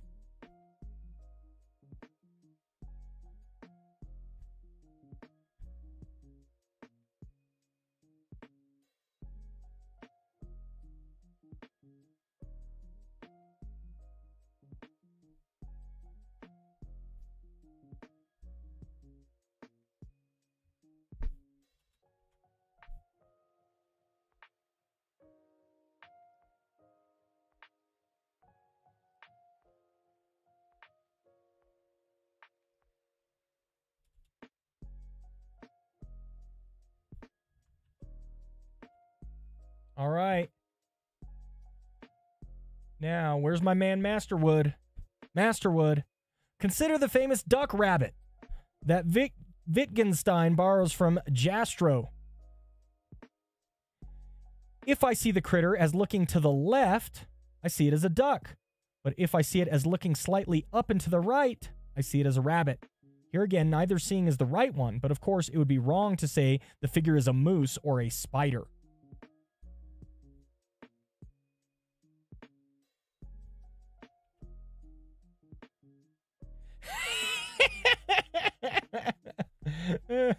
that is one ugly rabbit with a long neck. I love it. I love it. That's correct, Master Wood. The two figures are sufficiently indeterminate to accommodate anything accommodate more than one thing is correct without permitting the anything goes relativism that is conjured up as a bogeyman at the first hint that human understanding might be relative to human conditions. The questions that arise in is whether certain kinds of texts, including biblical texts, are like this. Then he brings up a poem. Do I want to do a poem?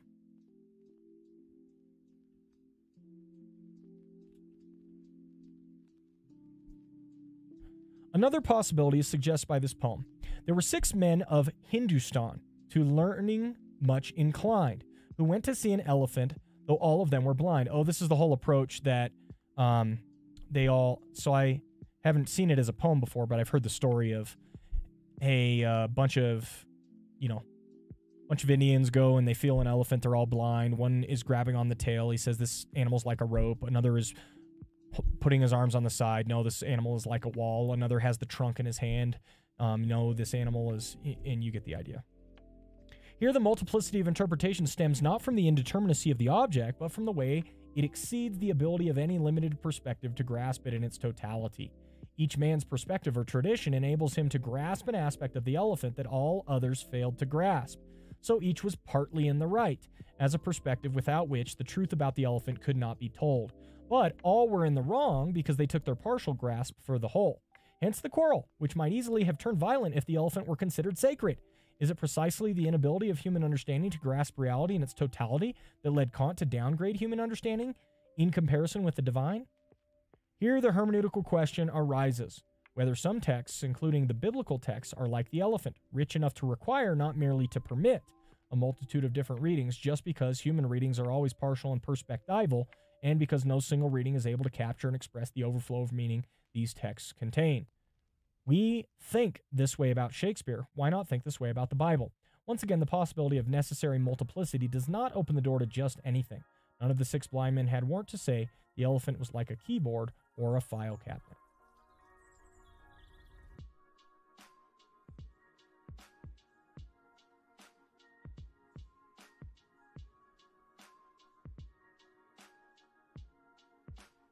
So I'm just looking to see.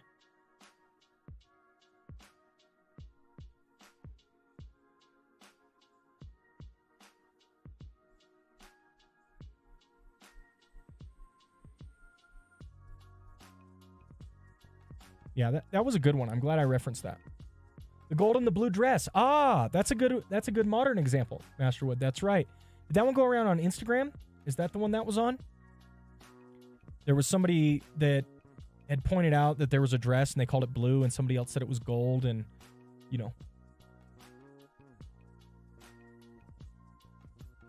The original Ra- Rabbit Duck Illusion is much better in its original form. There's another one that I think is better Young Girl slash Old Lady. I need one that's easy to draw, though, Cal Magic.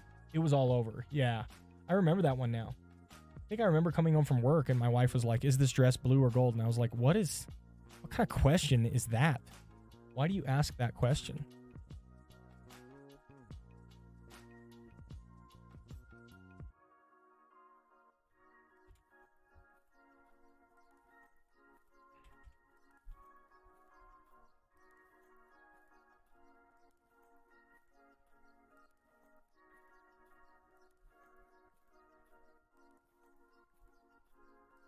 Cool. This is good stuff. All right, let's keep rolling. I think I've got enough to functionally describe the difference between hermeneutics and exegesis. Now I want to move on to the next one. The literary postmodern view. Okay. This one's going to catch a lot of heat, I think.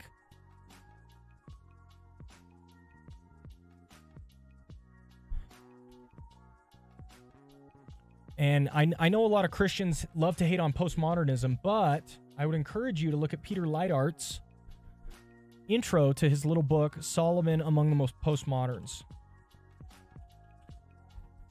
Right here. Solomon Among the Postmoderns. You don't even have to read the whole book, just look at the introduction. I hope to show APCs, anti postmodern Christians, that postmodernity is, in the sense that sociologists generally use the term, simply a fact. It's simply a fact. Whether we want to call it postmodernity or something else, whatever we still share with the modernities of the past few centuries, we need some term to describe the remarkable set of interrelated cultural and political changes.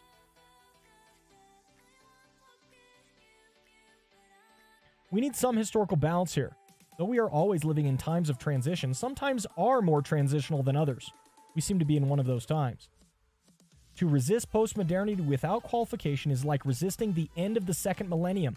It's too late now, and it was going to happen anyway. Pro postmodern Christians encourage other Christians to shed their old fashioned commitments to truth and the so yesterday binary opposition of right and wrong and get in step with the spirit of the times. Increasingly, I have wanted not only to clarify what postmodernity is and what postmodernists are trying to say, but also to bump some PPCs off of their bandwagon.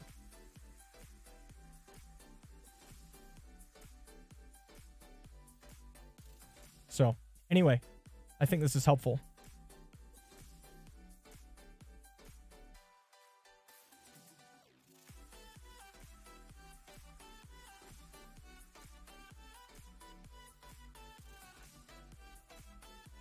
Cal Magic says, check out the YouTube, the incredible ch- color changing deck for how easily one can be fooled by their own mind.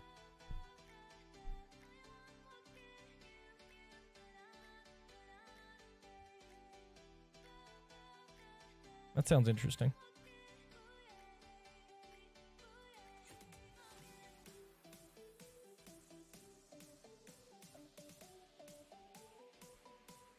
I'm gonna put it in there for later.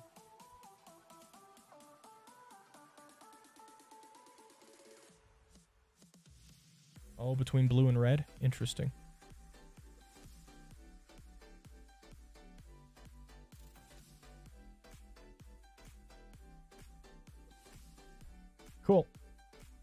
Let's go to literary postmodern.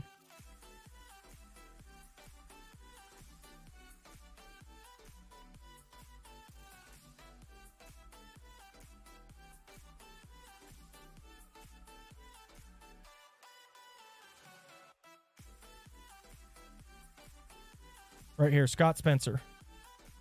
Boom. Regarding the now familiar triad of author text or reader oriented approaches to biblical interpretation, current literary focused critics concentrate on the latter two options. I need to go pull up. So, not only is there a hermeneutical spiral that I need to talk about,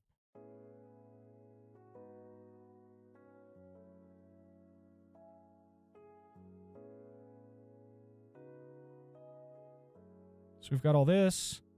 Talked about this.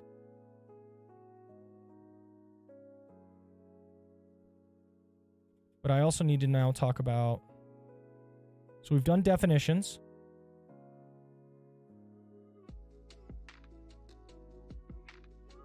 Done definitions. We've got some pictures and examples. I think that'll be helpful. Then I need to talk about hermeneutical spiral. I've written all this stuff down elsewhere. I think maybe I thought I was going to do them at the end, but I need to do them up front. Right here. And then the four foci of the discussion.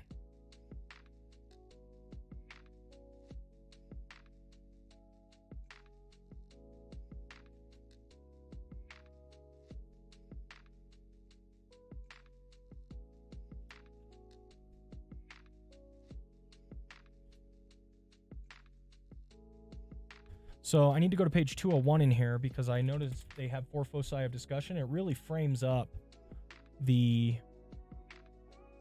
options when it comes to hermeneutics right here.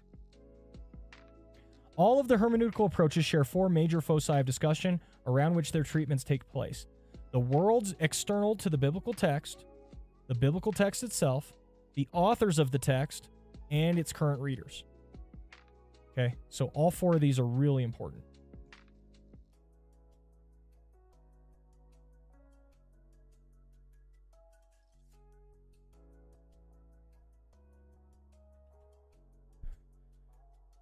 And part of the reason I bring that up is Scott Spencer brings up three of the four in his author, text, reader. Right here. Author, text, reader. And then this is just historical background, his audience, if you will. Cal Magic, there was an experiment that was done in the 1950s. A football game was filmed, and when shown to the fans of each team, they each saw something different depending on the school they attended, college game. The experiment had to be has been repeated several times, different ways. It is now accepted that people can observe an event and come up with differing conclusions. That's fascinating, Cal Magic. Also reminded, I don't know if you've heard of the like of this one, but they had a they have a team passing around a ball, right?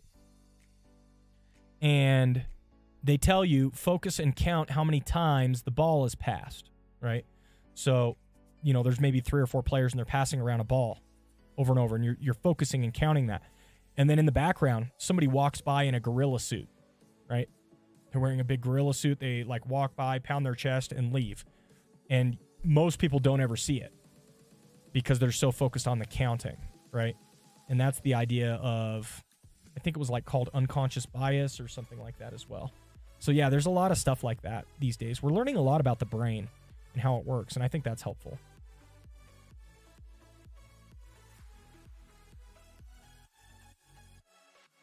the now familiar triad of author, text, or reader oriented approaches.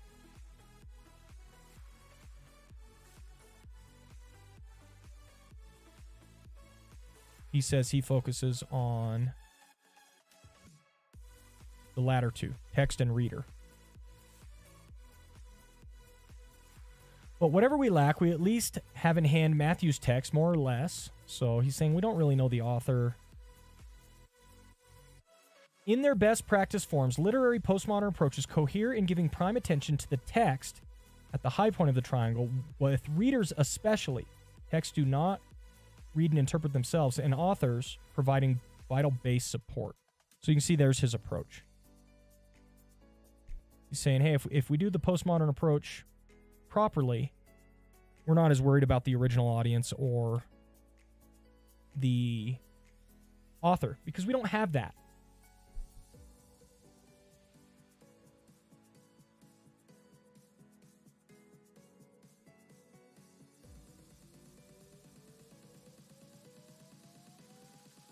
Accordingly, literary oriented approaches that respect the integrity and distinctive presentations of the first century gospel narratives are by no means anti historical or unconcerned with ancient materials outside of the text.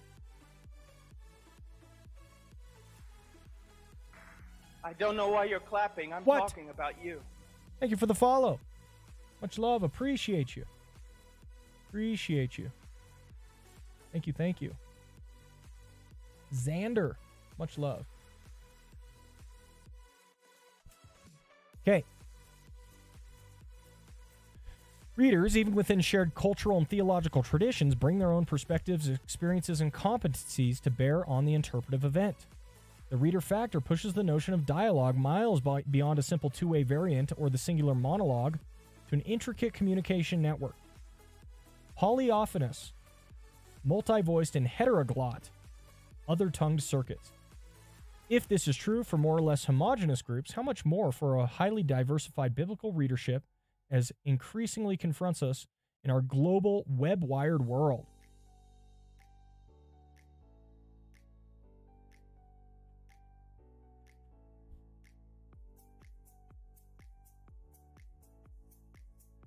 Two major strains of resistant New Testament reading have avowed feminist and post colonial interests. With this stress on polyglot perspectives and power dynamics among texts and readers, we jump full square into the precarious world of the postmodern criticism, which staunchly resists absolutist claims about determinacy, universality, u- uh, it's univocal, but I can't say it when it's got ity on the end. Univocity and legitimacy in biblical interpretation. In this worldview, an open Bible does not merely allow for multiple readings, it intrinsically demands them. Influenced by French literary theorist Jacques Derrida, the askew, rigid, dualistic, hierarchical, binary, oppositional, analytical categories pertaining to gender, ethnicity, government, class, and other socio political relations. Where does all this openness lead us? Into hermeneutical anarchy. Where anything goes, it runs that risk. Yet nothing requires us to be postmodern deconstructive purists, pushing instability and indeterminacy to the brink. Common experience and seasoned exegetical practice confirm that meaningful communication happens despite propensities towards misunderstanding. So you can see he's trying to be a little more conservative about it. Masterwood. Those pesky French. I like their fries, though. Fair enough. Fair enough. the gorilla video and the color changing card were done by Richard Wiseman. YouTube channel Quirkology. He's a psychologist, magician, and a good friend. That's awesome, Cal Magic. Very cool. Small world. Yeah, I didn't even think of it, but you're like particularly equipped to tell us how the human mind gets easily fooled.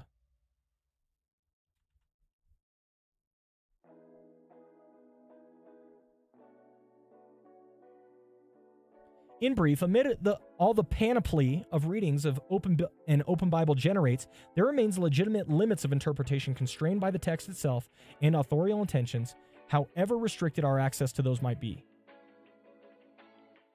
Kevin Vanhoozer cites an extreme example from a literary critic, Umberto Eco, but one that effectively scores its point. As Eco poses, if Jack the Ripper told us that he did what he did on the grounds of his interpretation of the gospel according to St. Luke, I suspect that many reader oriented critics would be inclined to think that he reads St. Luke in a pretty preposterous way.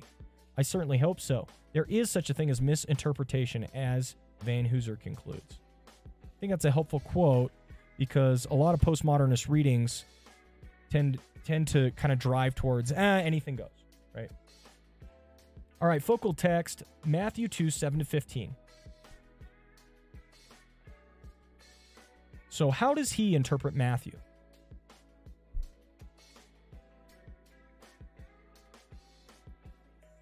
Brings up source critics, redaction critics, all this type of stuff.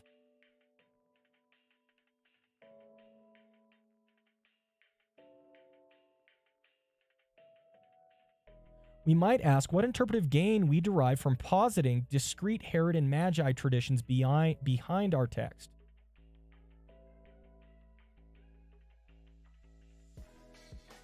While the source critic interprets these as patchwork sutures, the narrative critic negotiates them as a creative tension.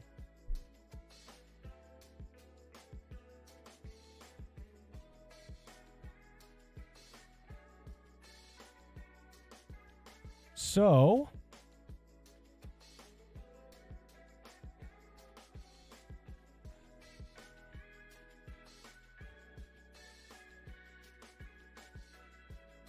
he says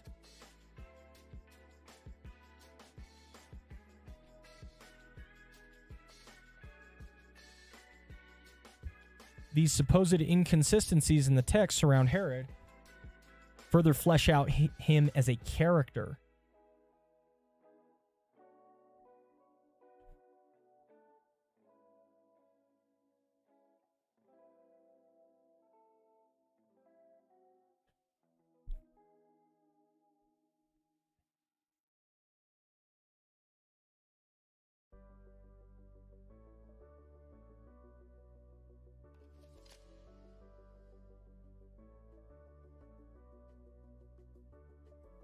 Then he says, while such a trek could be tracked on a map of ancient Near East, them going to Egypt and back, literary oriented critics are more concerned with the symbolic relations among these places. Ironically, the holy Jewish city of Jerusalem represents the center of opposition to the true Jewish King Jesus, who finds a welcome home in a small outlying village of Judean Bethlehem and Galilee and Nazareth, and even in the non Jewish east of Egypt, both notorious regions of bitter exile in Israel's history.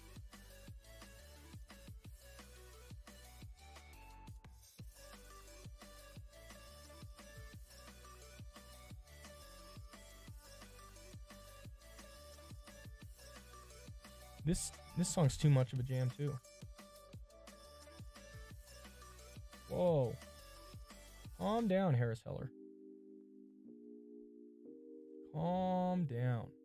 How long have I been streaming? Nearly two hours.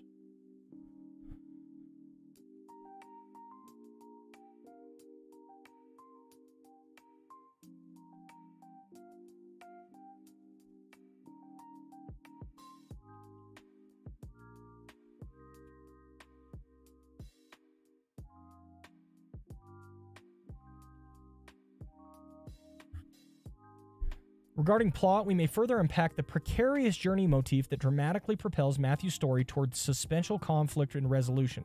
The hard time of it the Magi had on such a long journey to the Christ child, through unique in many though unique bleh, though unique in many respects, echoes the other excursions and pilgrimages.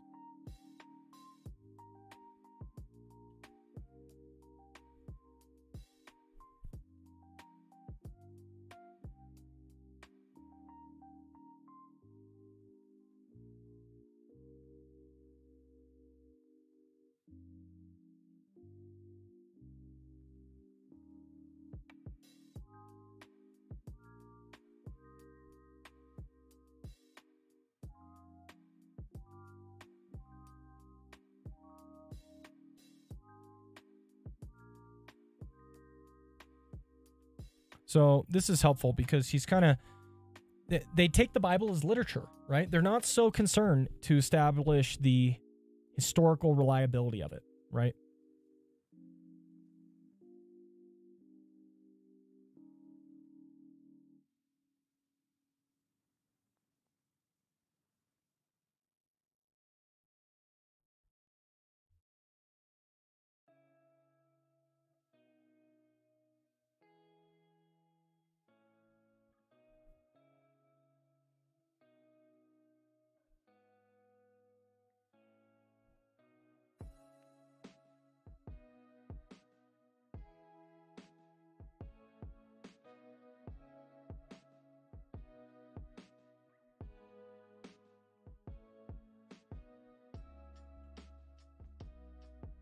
And he's got his Egypt motif.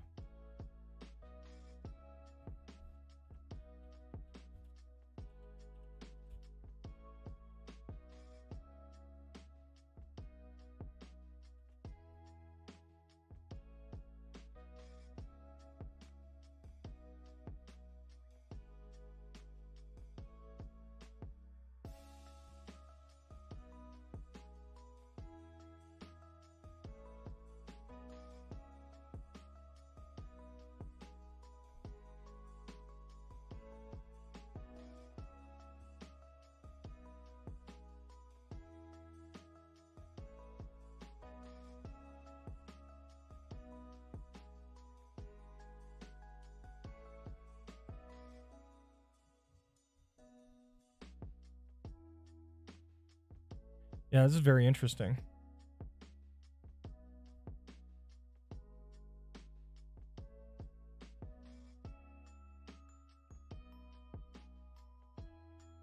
Okay, I gotta stop here. He's got lots of interesting insights.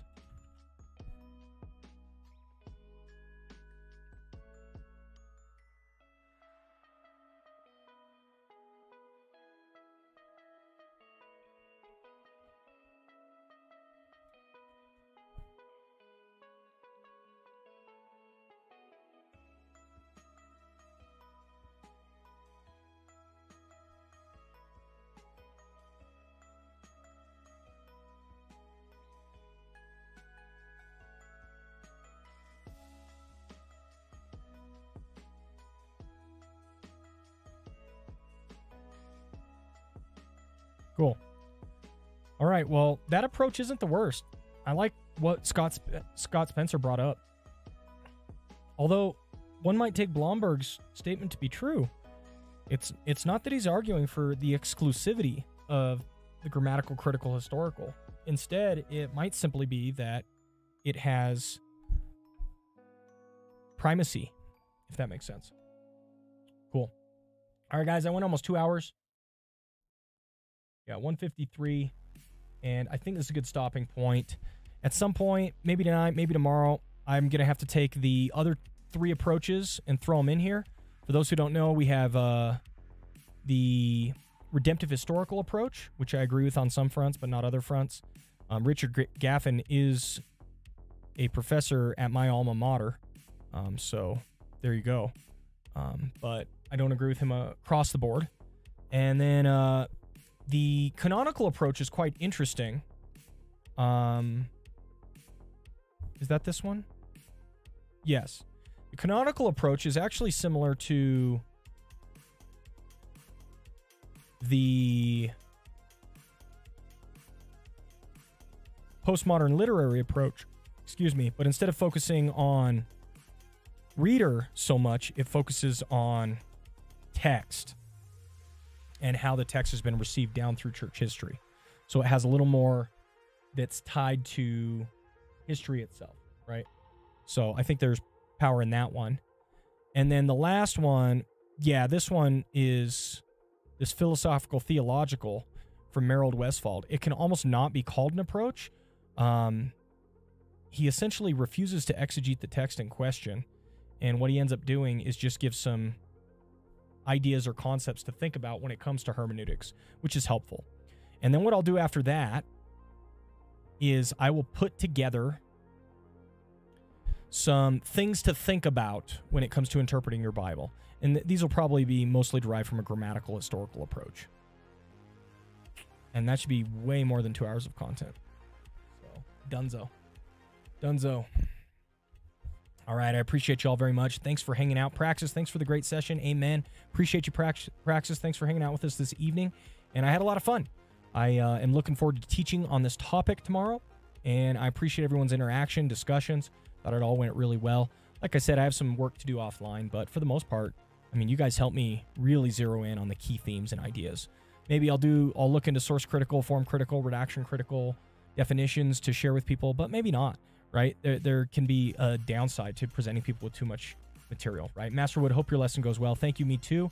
And then, of course, I will be doing some sermon prep later this week for this upcoming Sunday's sermon when I will be teaching on the topic of joy. It's the pink candle, y'all. If you celebrate Advent, you go purple, purple, pink, purple when it comes to candles. And it's uh, hope and peace, which I've already preached on, joy coming up, and then after that, I forget the last one. Oh, it's love. Love is the last one. So anyway, looking forward to that as well. Um, but that's it for me tonight. Appreciate y'all very much. Thanks for hanging out, and I hope you have a great evening, a great rest of your week. Going to be recording a vlog after this to upload to Patreon. If you're interested in supporting us on Patreon, exclamation mark Patreon, and you can see I do weekly vlogs over there. And then of course, I'm pretty booked recently, but I try to record YouTube videos when I can. Guys, Jess's music is popping off lately, and so sometimes I got to support her and, uh, help her to write her music. So, anyway, we're doing what we can. Appreciate you all very much. Thanks for hanging out, and I will see you all again very soon. Take care. God bless. Bye.